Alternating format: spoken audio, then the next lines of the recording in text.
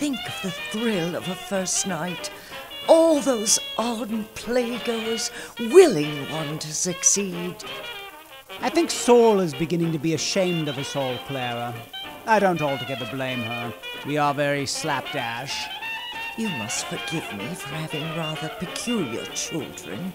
We're so awfully bad mannered. Not to people we like. The people we like put up with it because they like us. Have you ever stayed here before? No, and I never will again. Do you think they have tea? Oh, yes. They must. I was only playing up. One always plays up to mother in this house. It's a sort of an unwritten law. Didn't you mean all she said? No, not really. We none of us ever mean anything. There. You bolle? How very rude.